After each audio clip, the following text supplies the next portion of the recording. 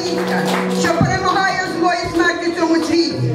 Просимо, щоб ти, Боже, захистив наших синів України, які вимушені взяти зброю для захисту своєї держави, щоб захистити свої домівки, свою землю, який ти, Господи, дав нам у спадщину.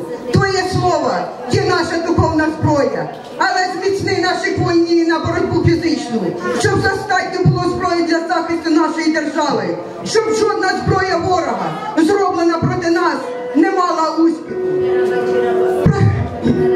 Великий Боже, ти є справедливий.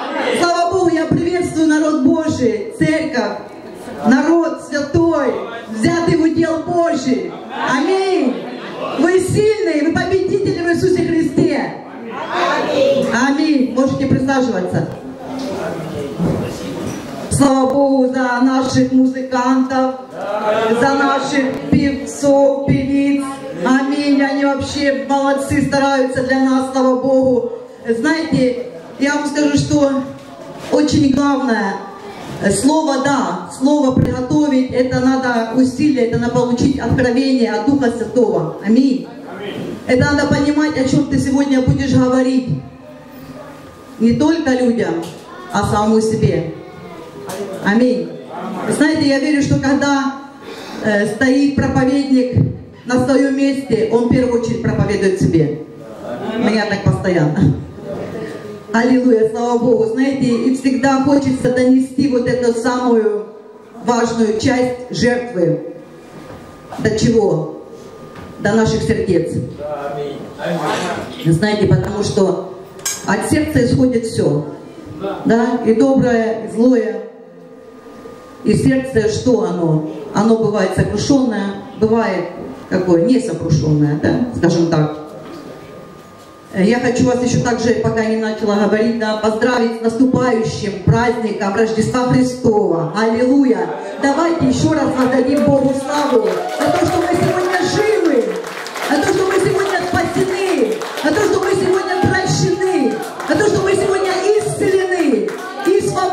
свободны. Спасибо тебе, Отец мой, за то, что ты родился 2000 лет назад для того, чтобы я могла сегодня стоять на этом месте, живая и здоровая. Аллилуйя, слава Богу. Знаете, пусть Бог каждого благословит сегодня внутри. Знаете, слышать это одно, а принимать это совсем другое. Учись сегодня принимать Слово Божье. Учись сегодня принимать то, что говорит тебе, пусть даже человек, но через, через человека всегда говорит Господь. Аминь. Аминь. Иначе как? Иначе никак. Аминь. Знаете, если бы мы воочию физически услышали голос Божий, то, наверное, мы бы от страха умерли. Но я да. Не знаю, как вы. И сегодня, знаете, я хочу поделиться с вами словом о жертве. Это Бытие, 4 глава, с 1 по 6 стих. Все мы читали, все мы знаем, да, здесь верующий народ сидит знающий Бога, верующий, да, Богу. И знаете, мне всегда нравилось это, этот пример, да, почему я много рассуждала, ну давно уже рассуждала, почему так происходит в нашей жизни, да, э, с чем связана вот эта вот наша жертва Богу.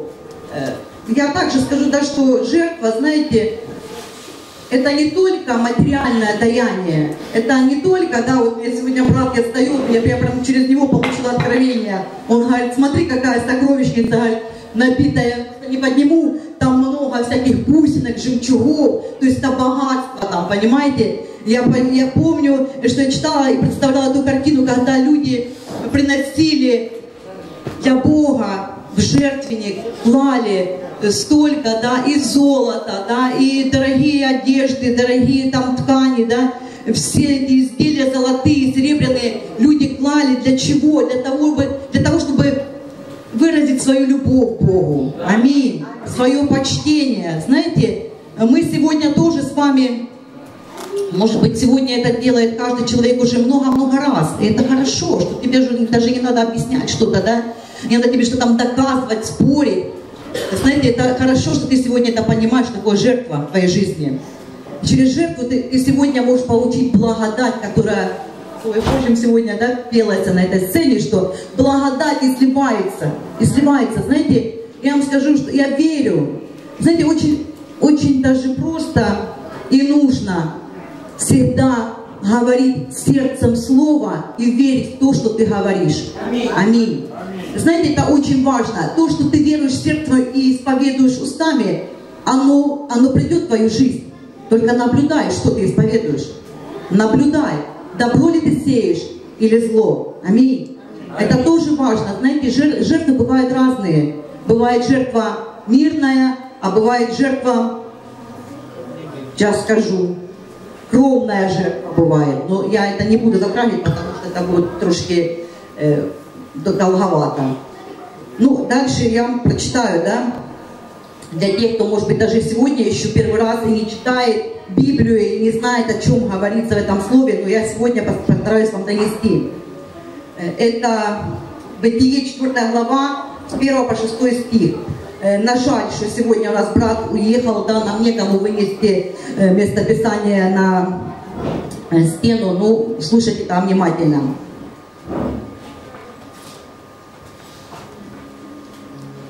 Спустя некоторое время.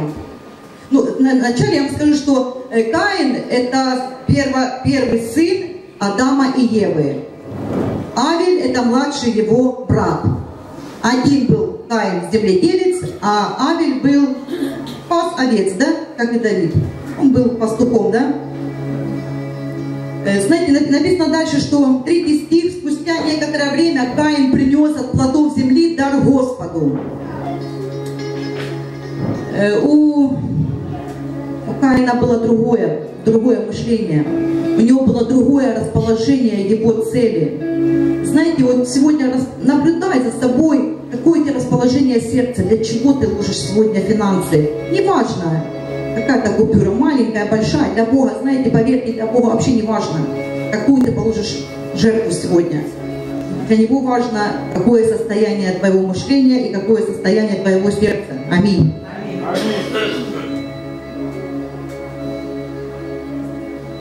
И дальше написано, и Авель также принес от первородных стада своего, и от тука их, и презрел Господь на Авеля и на дар его. Было правильное расположение сердца, было чистое, знаете, у Авеля был Бог на первом месте.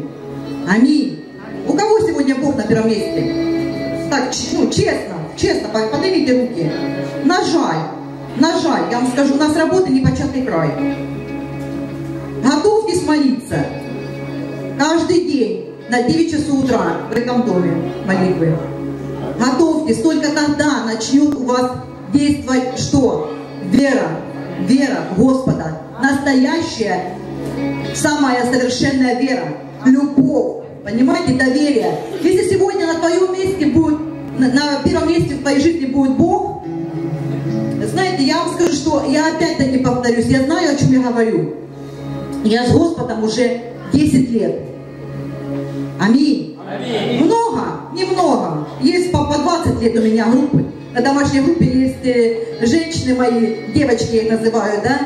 Они уже там по 20 лет и более с Господом, знаете, и они могли бы мне проповедовать, а не я им, скажем так, да?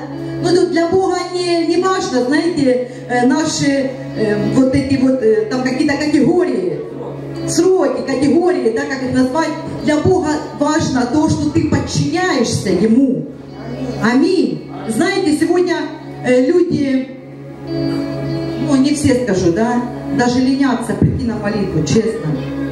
Это лень, это самая настоящая лень. Да я ляжу посплю, да не хочу ноги мочить, да, или, ну вы не обижайтесь, честно, но это правда.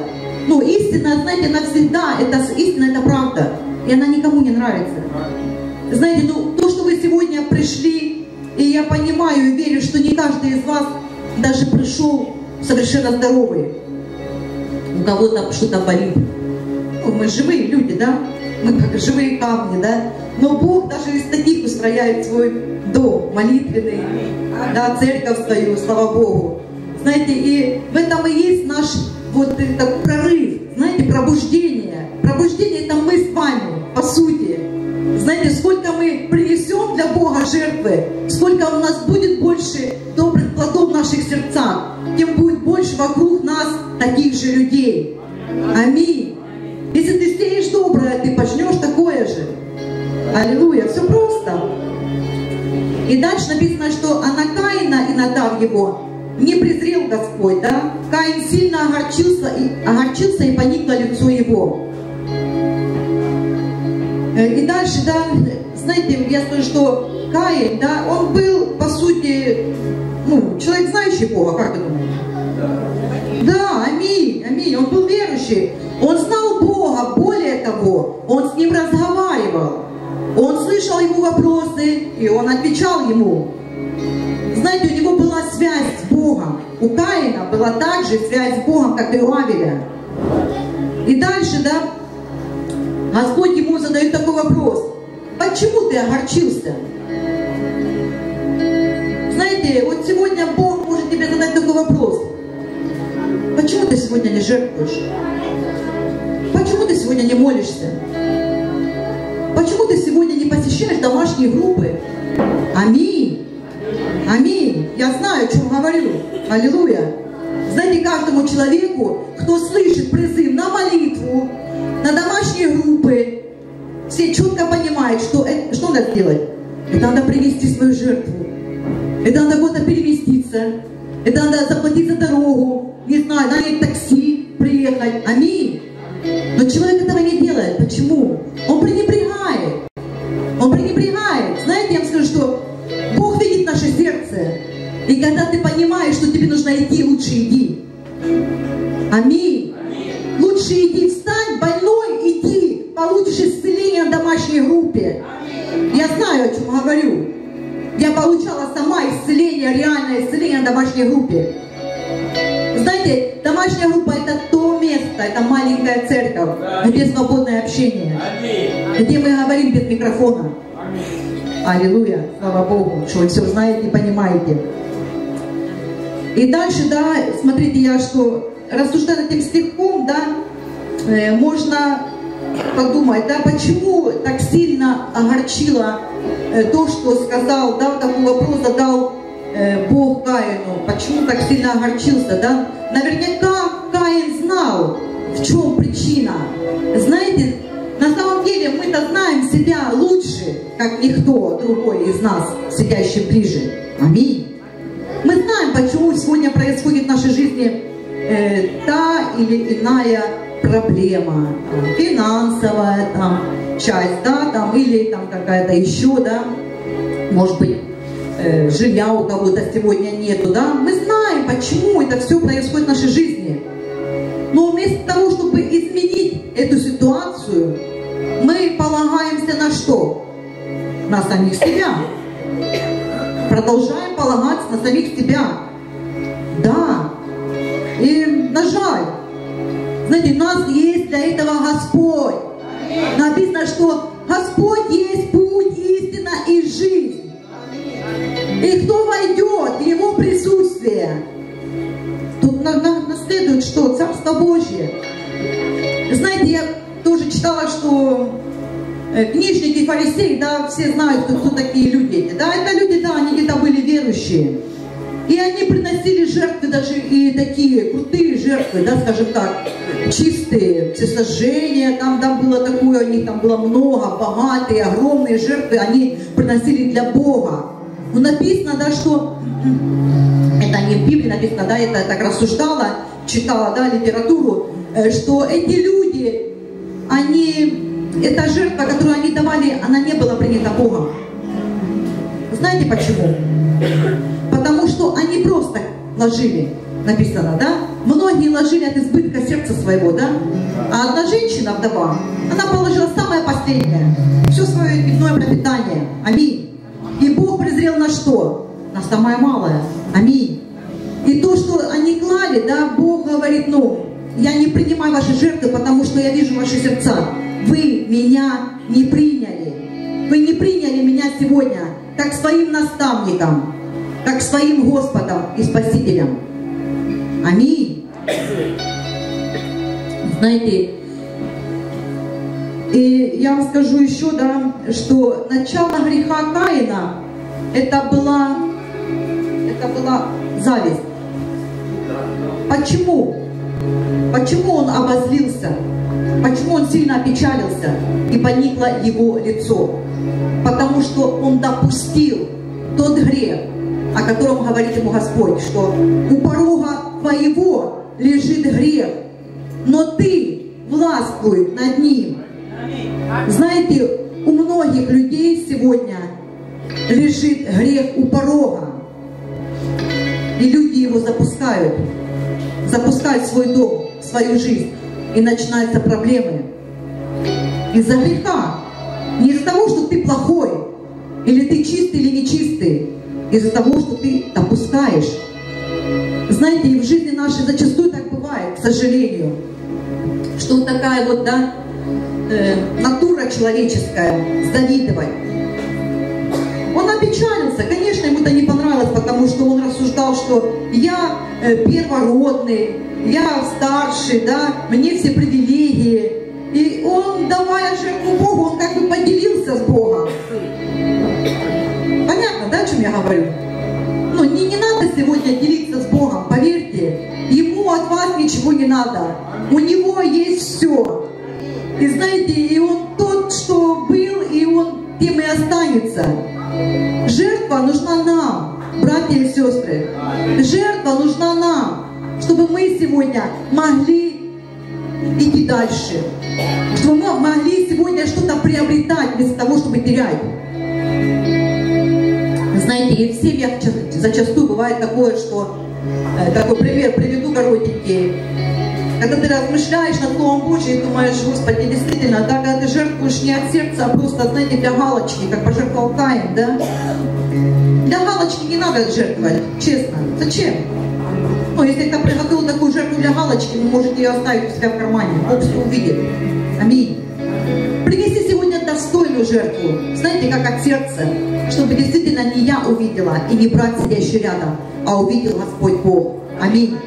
И выйдя из этого дома, ты получишь воздаяние 30, 60 и 100 крат. Это будет. Это будет. Бог, Он никогда не опаздывает. И написано в Слове Божьем, что Псалом 50, 19 стих, жертва Богу, дух сокрушенный, сердце сокрушенное, смиренное Бог уни, не уничижит. Аминь. Знаете, вот действительно, во время жертвы нужно сокрушаться перед Господом. Нужно иметь вот, это, вот эту связь. Знаете, отношения. Отношения не всегда легко найти с Богом. Не всегда. Зачастую даже не всегда легко стоять и говорить пастору на этом месте. Со стороны всегда кажется, да, все легко, да, они все знают, им все легко. Нет, мы ничего не знаем. Откровением скажу. Мы ничего не знаем. Но мы говорим, мы делаем. Аминь. Э, Знаете, и еще сейчас добавлю, да,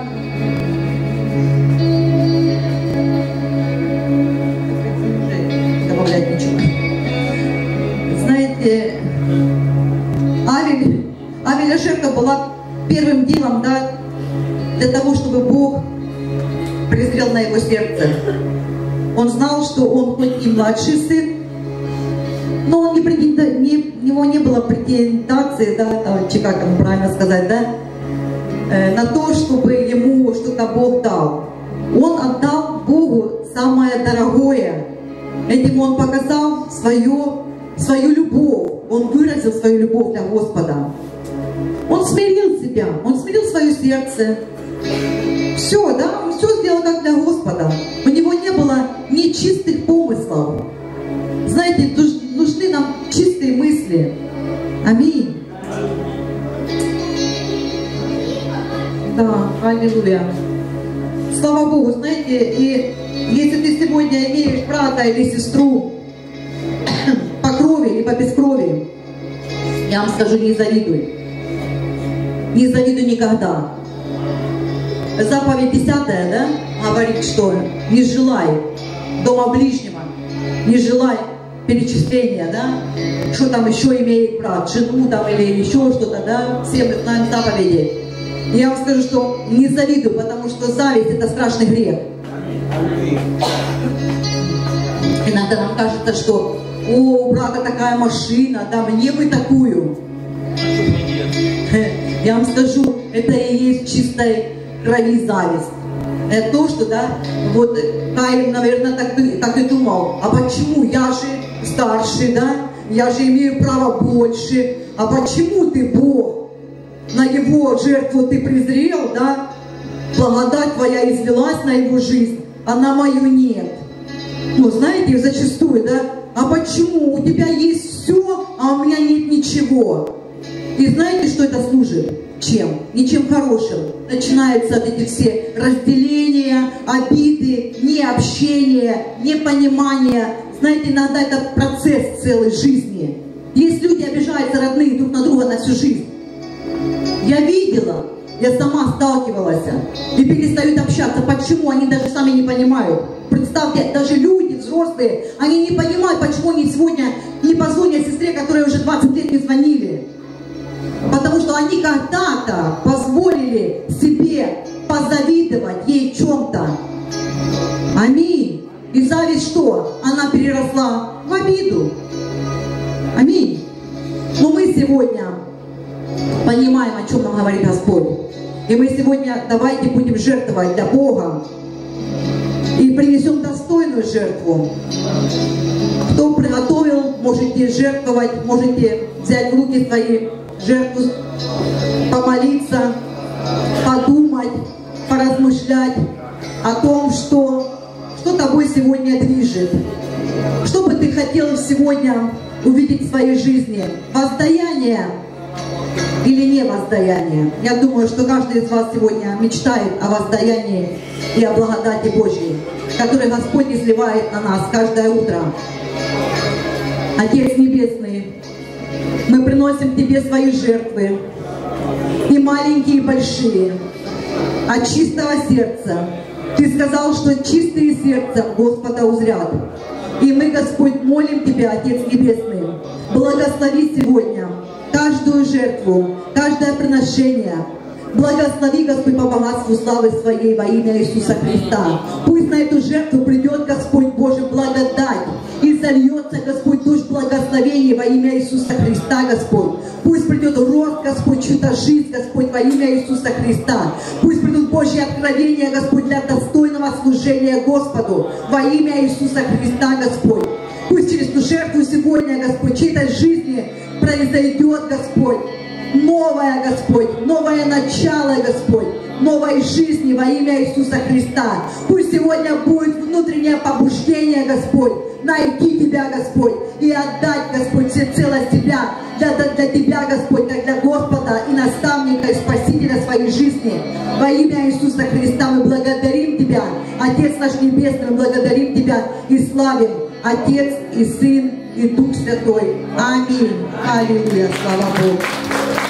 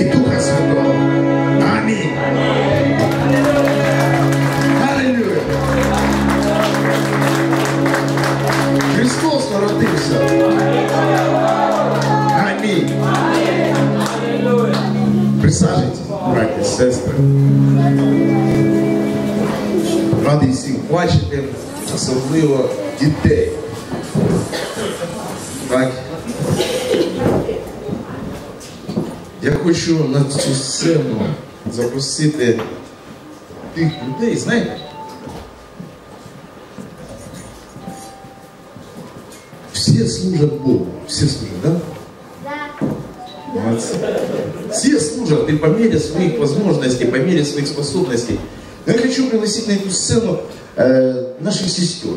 Тех людей, которые с самого начала войны этой взяли в руки свое оружие духовное. И еще ну, не было такого дня, по-моему, а может быть были когда-то, ну, по веским причинам, они стоят на страже в духовном мире с этим духовным оружием, с молитвой в этом зале. Елена Владимировна, Раиса Васильевна, Николаевна. Давайте поаплодируем. Это, это наши сестры, которые с первых дней взяли на себя обязательства, слава Богу за них, приходить в этот зал каждое утро, несмотря ни на какую погоду. Они приходят и молятся за каждого. За каждого из нас, за каждую семью в нашей церкви, за каждого воина в нашей стране, за всю страну. Давайте помолимся за них. Давайте прострем свои руки. Аллилуйя, Отец Небесный, я молю Тебя за наших сестер во имя Иисуса Христа, Господь. Пусть милость Твоя Божья, пусть благодать, Господь Твоя, она сопровождает их во все дни их жизни, Господь. Во имя Иисуса Христа дай им здоровья крепкого, Господь. Дай им долгих лет жизни, Господь. Дай счастья, радости, мира, Господь, в их семьи, в их сердца, Господь. Наполни Духом Своим Святым, Господь. А мы за все прославим Твое Святое имя. И мы молились во имя Отца, Сына и Духа Святого. Аминь. Аминь. Такие небольшие земли.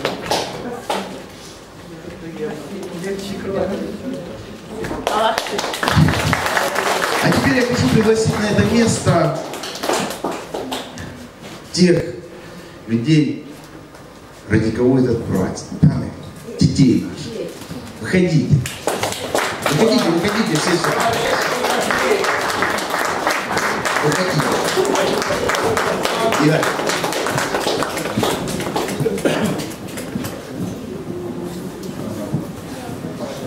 Остановитесь. Всем привет.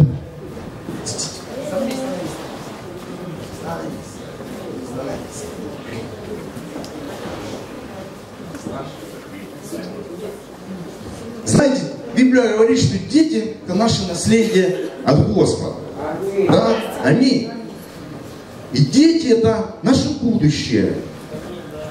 Слово Божье говорит, научи юношу, да? Научи юношу. Научите ребенка самом детстве его. Любить Бога, уважать старших. И он состоится как личность. Он не будет, я не знаю, уркой каким-то там или еще что-то. Всякое бывает. Но дети должны быть наставлены от самого детства. Аминь. Я хочу сегодня поздравить наших детей, потому что э, все-таки Рождество, да, э, все мы ждем от Рождества чудес каких-то, подарков. И мы поздравим наших детей подарками, приготовили для них. Где подарки наши? Помогай.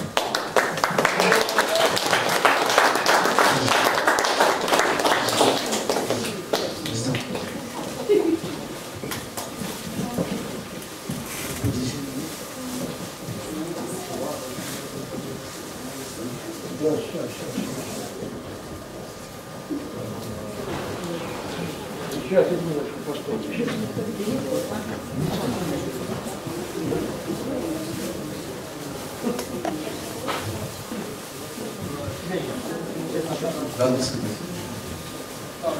Всем хватит. Всем хватит. Нет. Не слезай.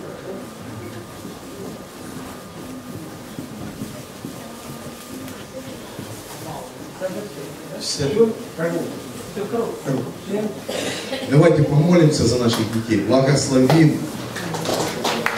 Аллилуйя, Отец Небесный, во имя Иисуса Христа. Мы молим Тебя за каждого из этих детей, Господь.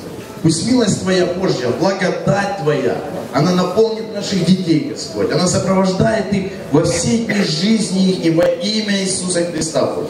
Пусть Дух Твой Святой наберегает их, и ангелы-хранители Твои, они ополчаются вокруг них, Господь. Слева и справа, сзади и спереди, Господь. Служат нашим детям во имя Иисуса Христа. Благослови, Отец, по богатству славы Своей. А мы за все прославим Твое Святое имя. Будем служить и поклоняться Отцу, Сыну и Духу Святому. Аминь. Аминь. Присаживайтесь. Проходите, там для вас еще программа детская. А мы будем продолжать наше служение.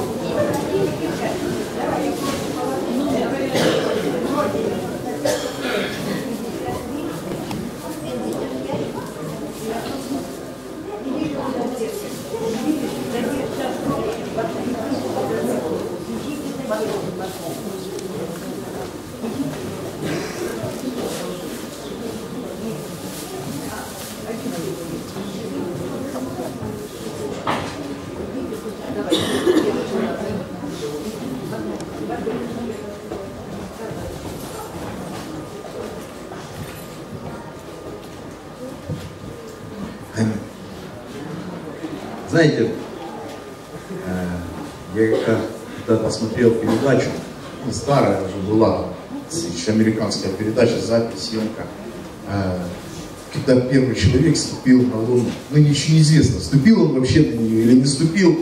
Ну, по, по крайней мере, это показали на весь мир в то время, когда была гонка вот таких вооружений, там, э, космос, кто первый покорит, кто первый кто, кто первый это.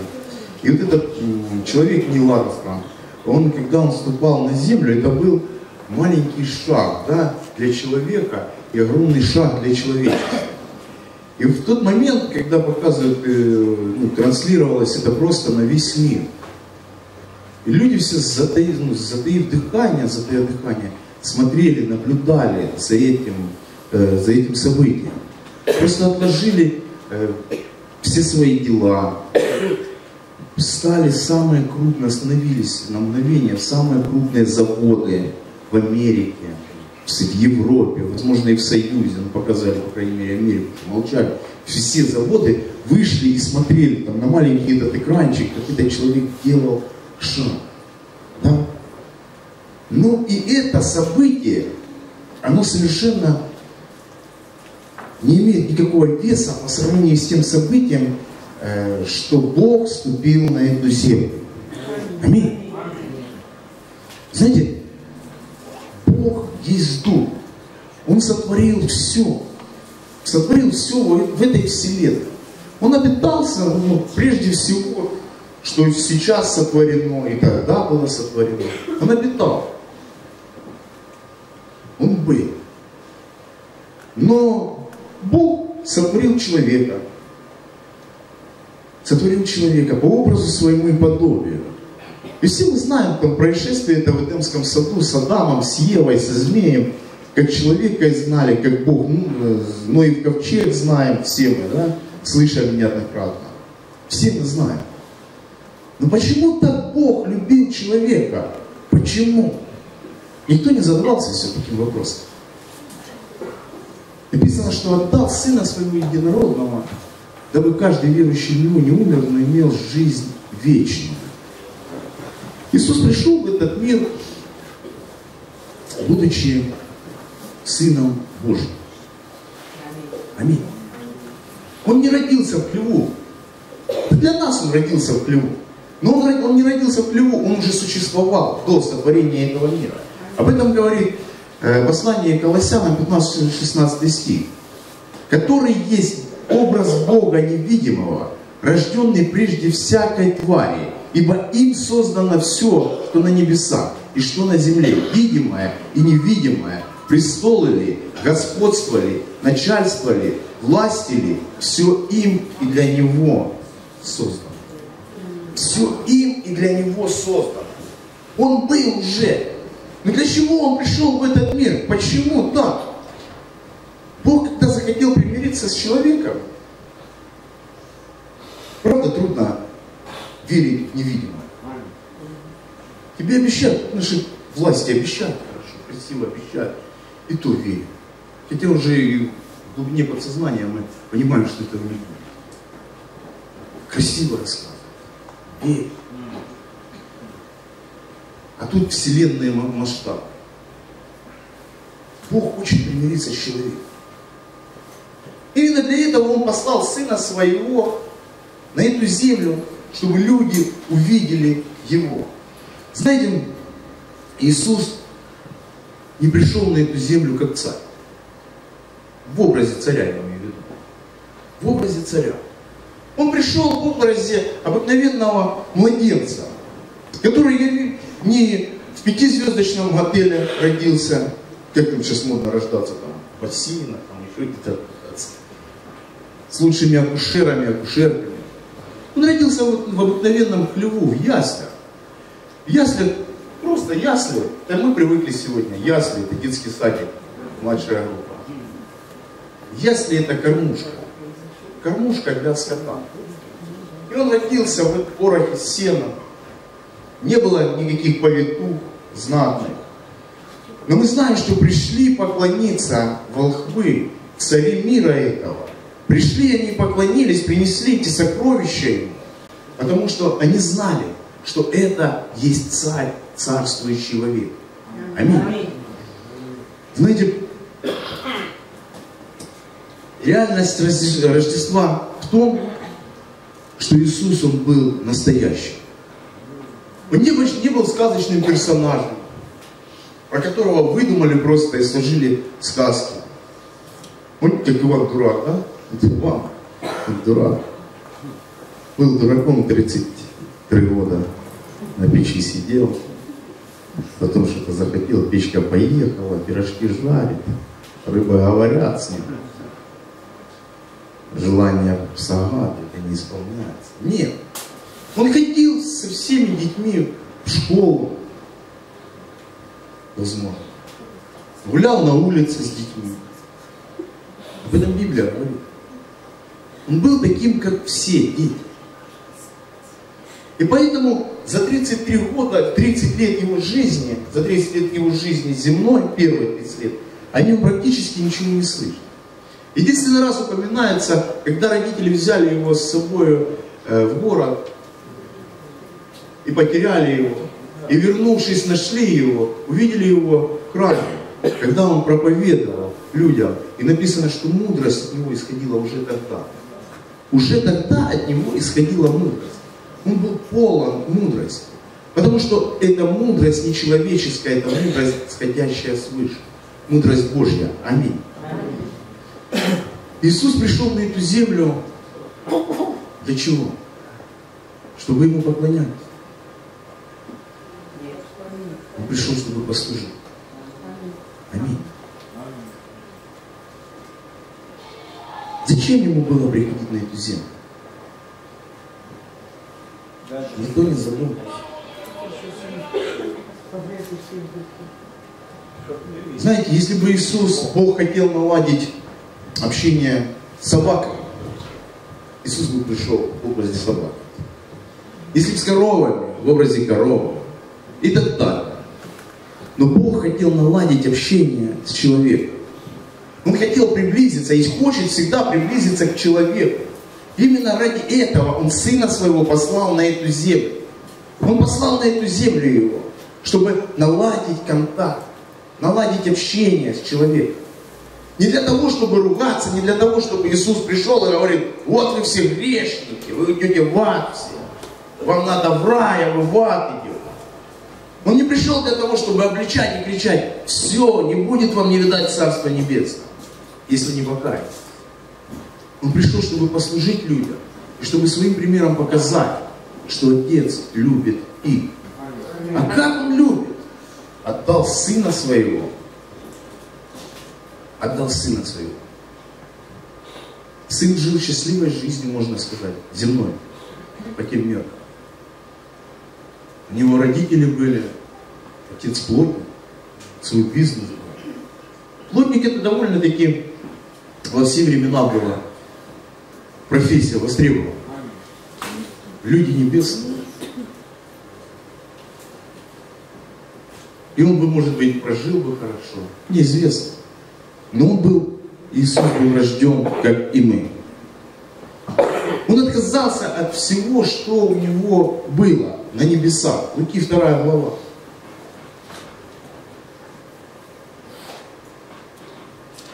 Четвертый, седьмой стих.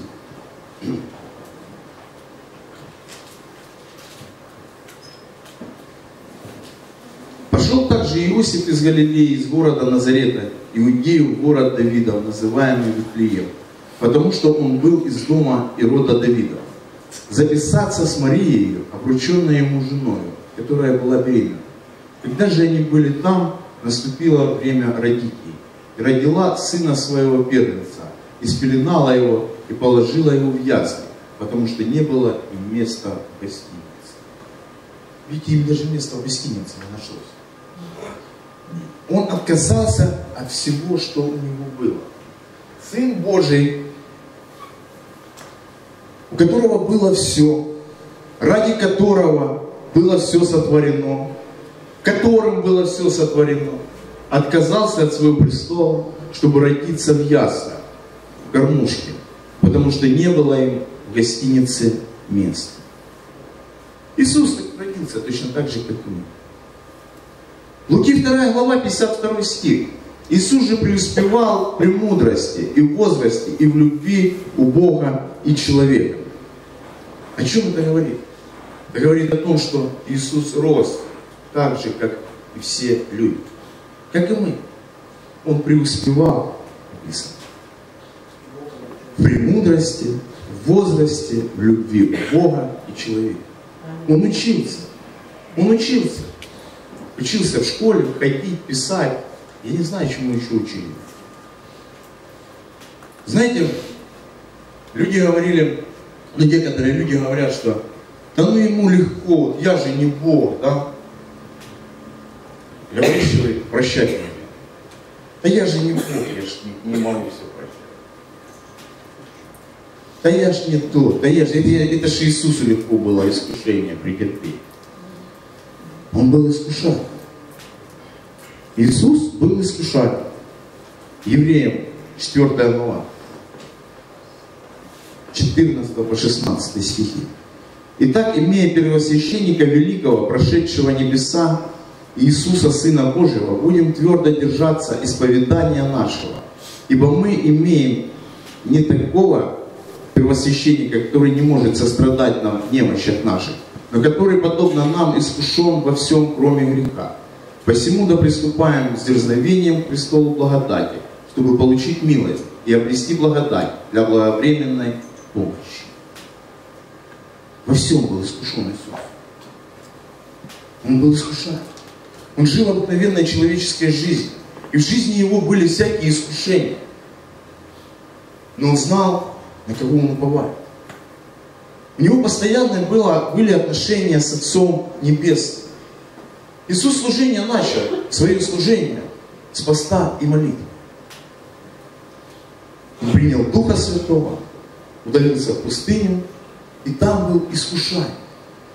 И искушения его были не такие, как наши искушения. Покурить, не покурить. Вот я уже три часа не курил, говорит, с. Креплюсь. Искушения так и долго.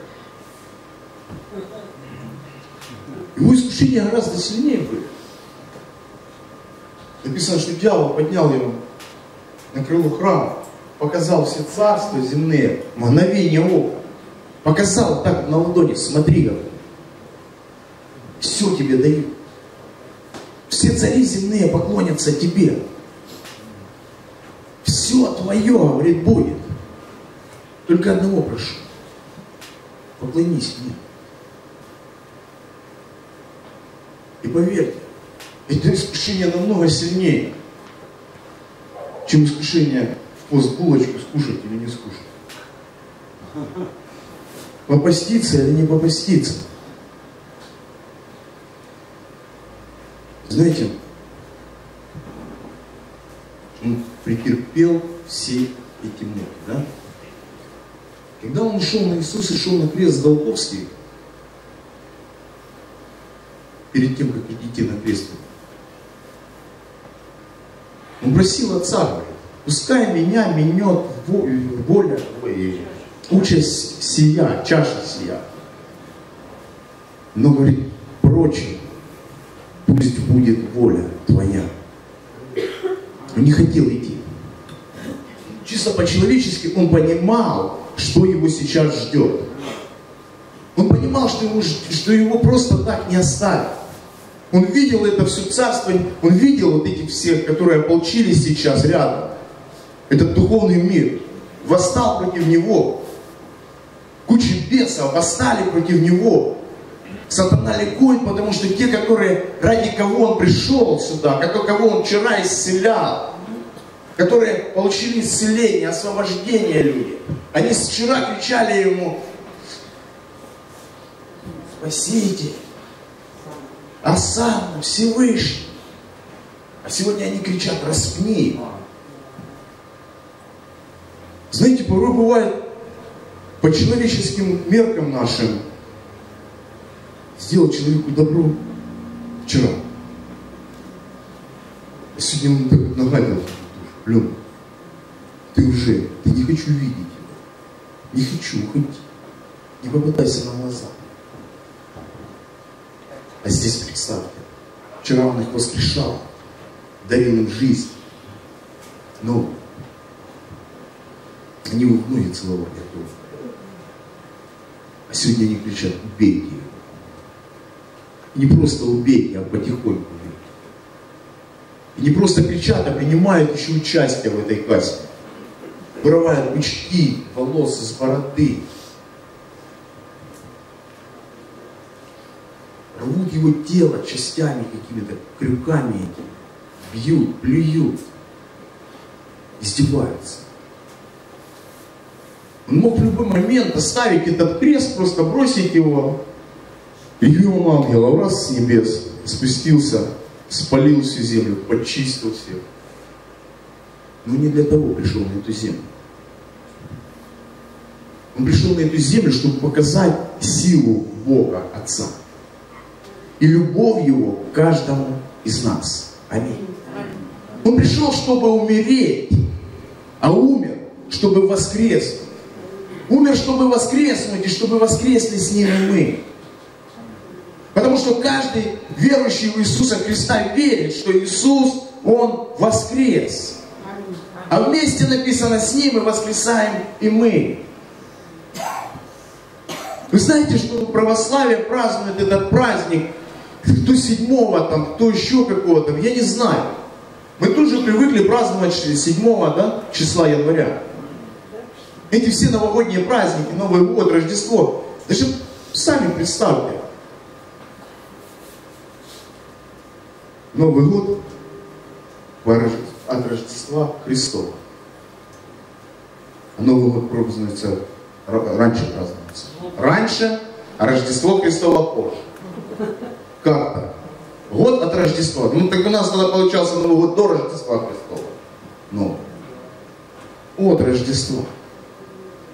Коммунизм просто-напросто скрывал, подзатирал, подзащищал за собой все, все лазейки, все выходы к христианству.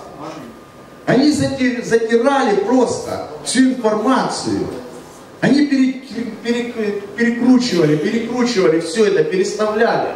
Ради чего? Ради того, чтобы забыли люди о Боге. Они оставили какие-то церкви православные, и каждый, так сказать, пастор, поп, КГБшник, к которому приходили люди на исповедь, которые принимали таинство исповеди и бежали, докладывали. И потом этих людей всеми семьями вывозили в Сибирь. Вывозили за, за Слово Божье. За то, что люди приходили к Богу. Люди шли, думали, они идут к Богу, они шли к КГБшникам. Просто-напросто села уничтожали. Уничтожали целыми поселениями за то, что люди отказывались верить в Ленина, а верили в Бога.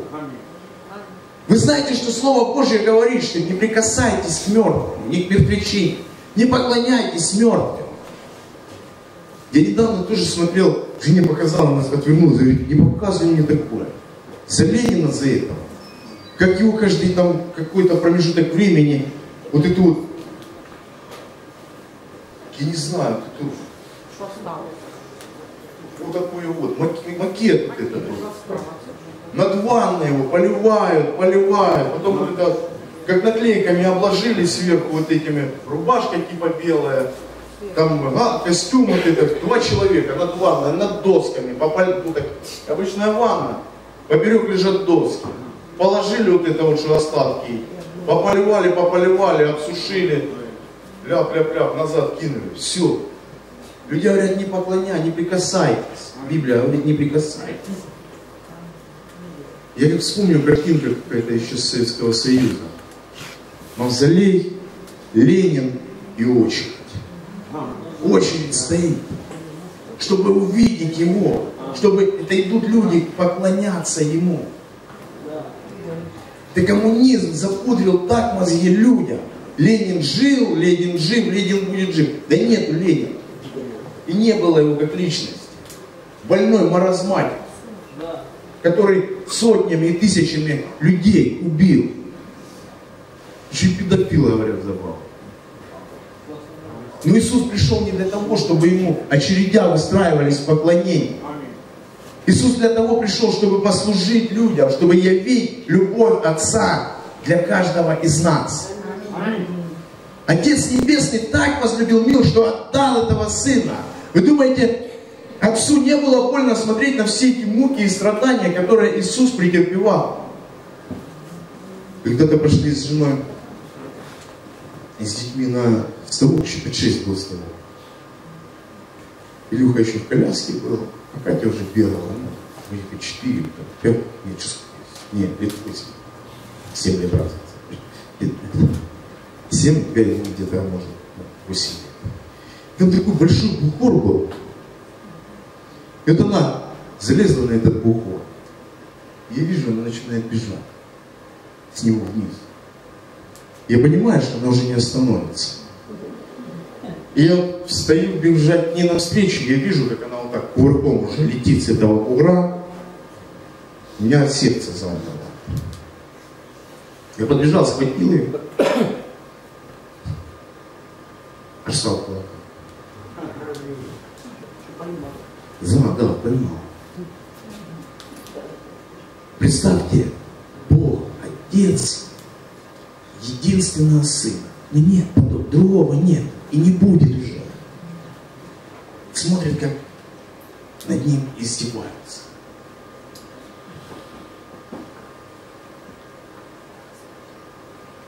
Иисус имел те же чувствования, что и мы.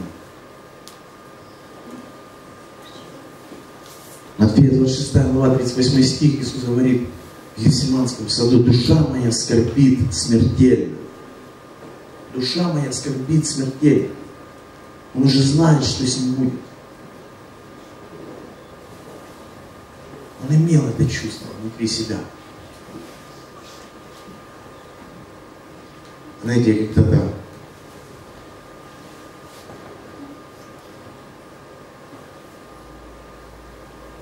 попросил пастор помочь ему.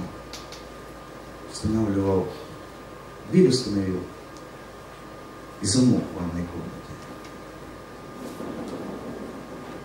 А потом мне пастор звонит и говорит, брат, что ты наделал?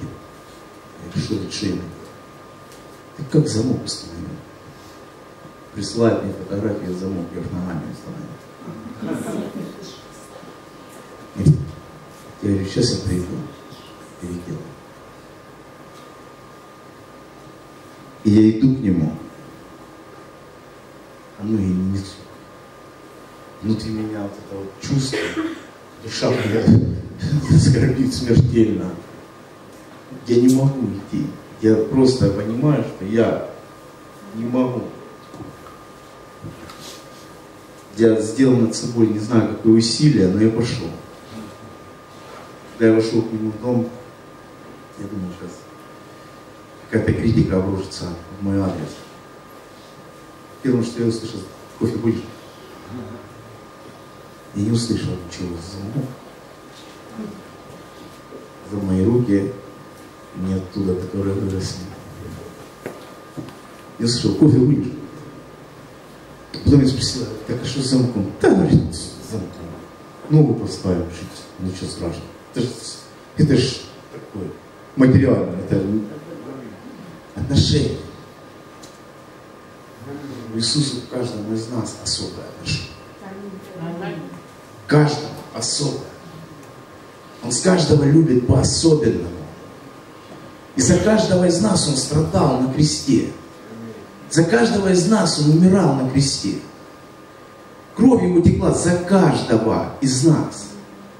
Она не текла больше за темнокожих или светлокожих. Она текла за всех одинаково. Я часто слышу такие слова, но я же не такой же, как они. Я не такой конченый, как они. Я же еще не там не валялся, я еще там не спал. Если ты говоришь, что ну, недолго осталось. И все, может, ошибаюсь. Лучше ошибаюсь. Но он за каждого. Нету грешника большого или маленького. Нету большого греха или маленького. Есть грех, одно слово грех. И наказание за грех смерть. Иисус пришел, это единственный человек, который пришел в образ, Сын Божий в образе человека, пришел на эту землю, Он умер и Он воскрес. Он посрамил смерть, Он спустился в ад. И три дня там пробыл. Там не описывается, что прям он делал как конкретно. Написано, что он забрал ключи от ада у смерти. И он воскрес на третий день, посрамив эту самую смерть. Если раньше на земле царствовала смерть, и ключи у нее от ада были, и смерть, кого хотела, туда и поселяла, в этот самый ад, то когда пришел, умер Иисус, Он забрал у нее эти ключи.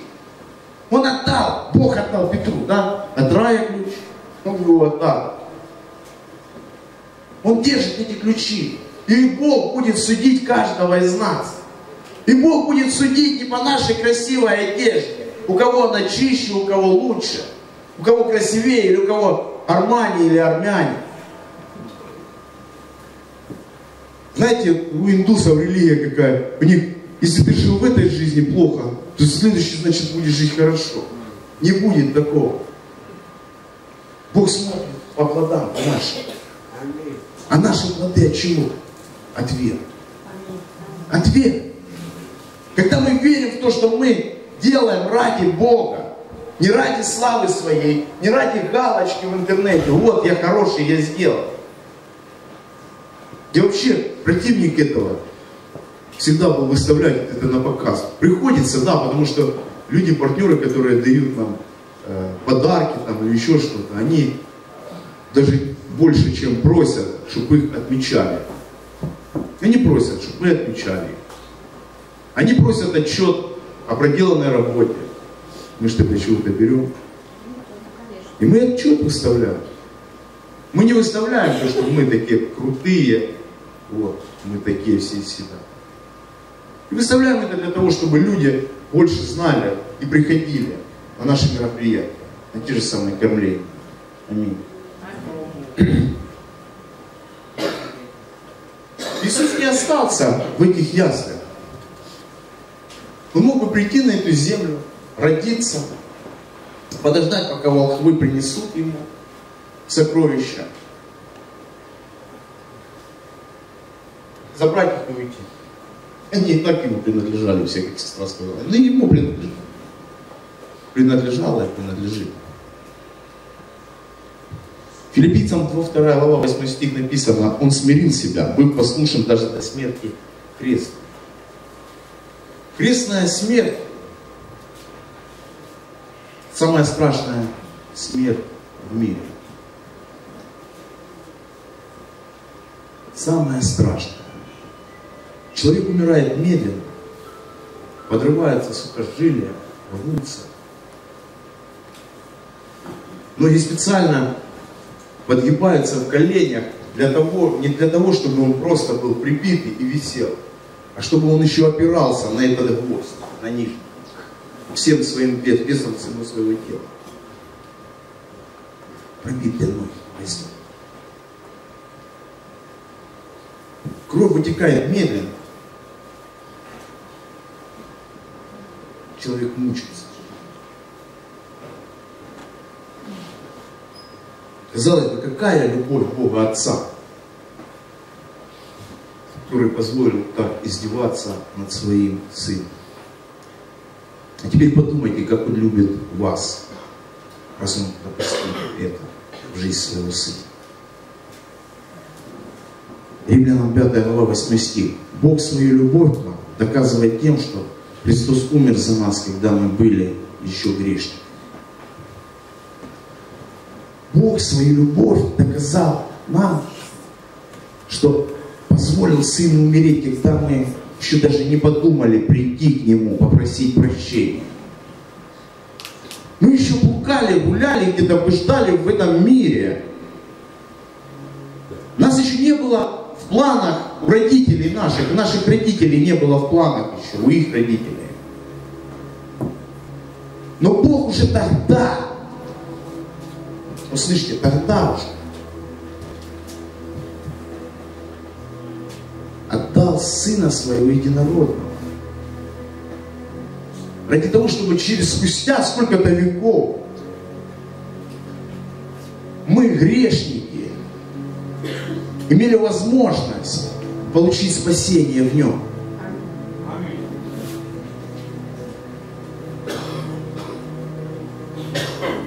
Иисус заплатил за наш грех. Мы куплены дорогой ценой. Когда мы приходим на рынок или в магазин, покупаем одежду дорогую, мы говорим, что я заработал, я купил. Я купил, она моя. Как сегодня Бог говорит, я купил тебя. Ты мой. Я выкупил тебя. Я заплатил за тебя цену. Эта цена не 50 гривен, не 100, не 200, не миллион. Это цена жизнь моего сына. Это цена кровь, страдания, муки.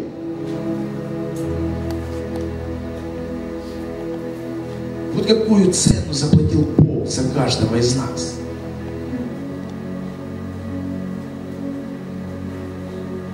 В Писании говорится, что Бог отвернулся от да он висел на кресте.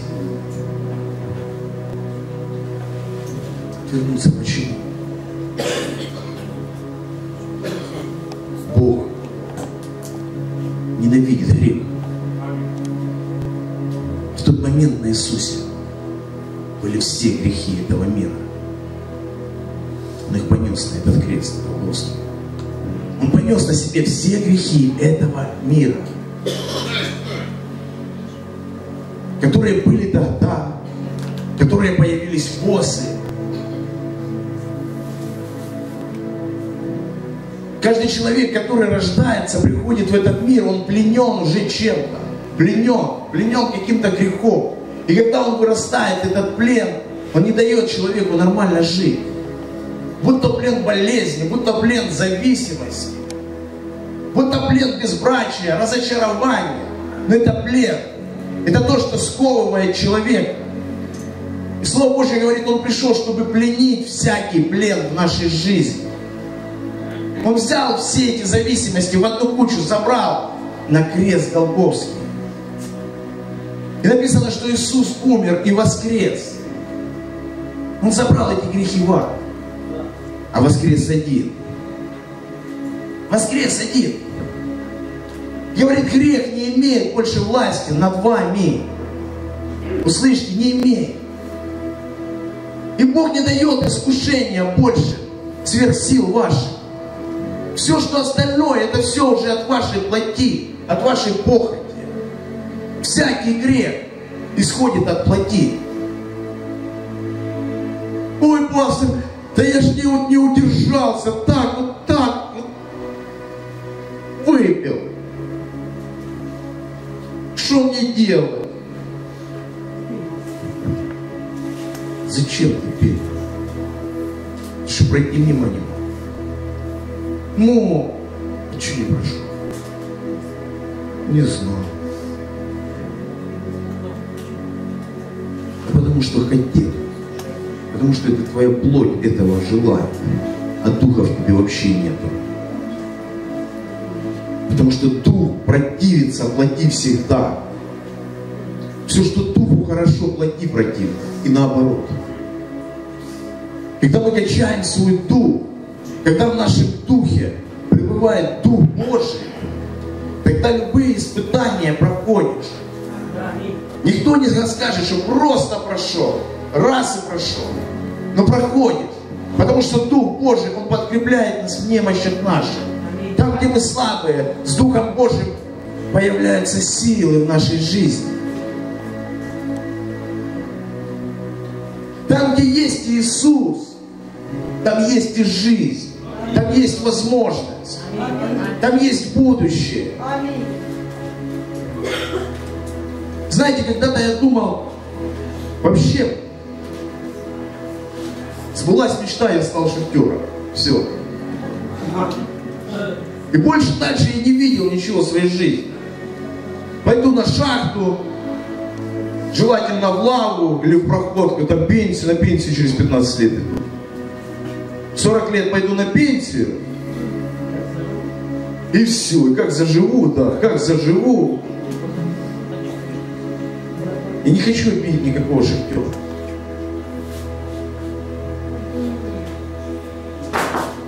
Боге есть будущее. И оно не останавливается на 40 годах пенсии. В Боге есть вечность. Аминь. Первая Петра.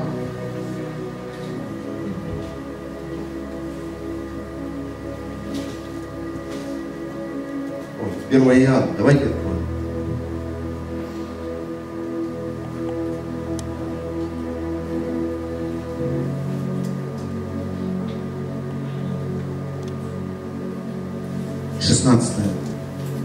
1 глава, 16 стих. Вернее, Иоанна, 1 глава, 16 стих. От полноты Его все мы приняли, и благодать на благодать. Ибо закон нам через Моисея, благодать же и истина произошла через Христа Иисуса. Бога не видел никто никогда. Единородный Сын, сущий в недре Отчим, Он явил. В современном переводе написано, по Его безграничной благодати мы все получили одно благословение за другим. Ведь через Моисея был дал закон, а благодать и истина пришли через Иисуса Христа. Бога никто не видел. Его явил нам единственный Сын Его, пребывающий у самого сердца Отца, и который сам Бог. Кто-то говорит, Иисус, это же Сын Божий. А Писание говорит, который сам Бог. Он был у самого сердца Отца, и Он сам Бог. Поросенок рождает поросенка. Обезьяна рождает обезьян. Бог рождает Бога. И Сын Божий пришел 2000 лет назад на эту грешную землю. Не для того, чтобы просто лежать в, этом, в этих яслях, чтобы Ему приходили и поклонялись. А для того, чтобы умереть. Чтобы потом воскрес. Чтобы потом пришли мы к Нему и воскресли вместе с Ним. Аминь. И поэтому мы сегодня празднуем этот праздник Рождества Христова. Когда мы празднуем праздники друзей своих дней рождения, родственников своих, мы закатываем пышные гуляния, столы. А привыкли, что Рождество грустные хороводы будут вокруг церкви. А потом напиваются все непонятно с какой радостью.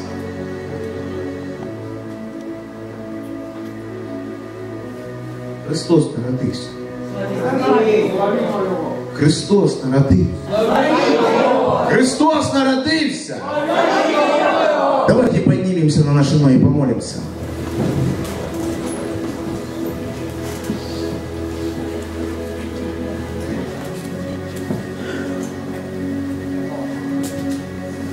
Аллилуйя, Отец Небесный. У престола милости Твоей благодати мы склоняем колени сердец наших и молимся Тебе. Иисус, мы говорим, что Ты наш Бог, Господь. И в этот день, день Твоего рождения, Боже, мы поклоняемся Тебе и прославляем Твое святое имя, Господь. Мы возвеличиваем Тебя, говорим, что Ты Бог всех богов. И царь царствующий вовек, Господь. И Тебе принадлежат души наши, и сердца наши. Тебе принадлежат жизни наши, Иисус. Потому что Ты один достоин всей чести, всей славы и всего поклонения, Господь. И мы склоняем колени сердец наших перед Тобой, мой Бог. Перед Твоей святостью, перед Твоей чистотой, перед Твоим величием, Господь. Да склонится всякое колено небесных, земных и преисподних. Перед Тобой, мой Бог, воспоют хвалу сотни и тысячи голосов, Господь. Потому что Ты один есть Бог, Иисус. Иисус, мы молим Тебя, благослови свой народ, Господь. Пусть Дух Твой Святой, Он контролирует нашу жизнь. Пусть Дух Твой Святой, Он ведет нас по жизни этой. Во имя Иисуса Христа. Дух Святой, изменяй нас. Изменяй наше мышление, наше понимание. Пусть Твоя божественная, Господь, божественная сущность, она будет в нашей жизни. Твое божественное присутствие, она будет в каждом дне, Господь. Мы благодарим Тебя, Господь, за Твое рождение, за то, что Ты пришел на эту землю, чтобы умереть, Господь, и воскреснуть. Прославься в нашей жизни, а мы будем прославлять Тебя, служить Тебе, великому Богу, Отцу, Сыну и Духу Святому. Во веки слава. Аминь. С Рождеством вас, братья и сестры. Пусть Бог всех благословит. Есть люди, я знаю, которые, которым нужно выйти на это место, чтобы обновить покаяние. Возможно, кто-то ни разу еще не принимал покаяние. Возможно, кто-то много раз принимал и выйдет последний раз. Выходите. Не стесняйтесь. Слава. Больше нет никого желающих.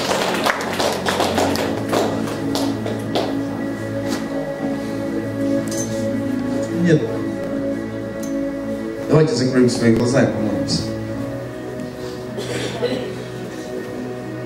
Отец Небесный, я прихожу к престолу милости Твоей благодати и прошу Тебя во имя Иисуса Христа, прости мне всякий грех, видимый и невидимый, осознанный, неосознанный.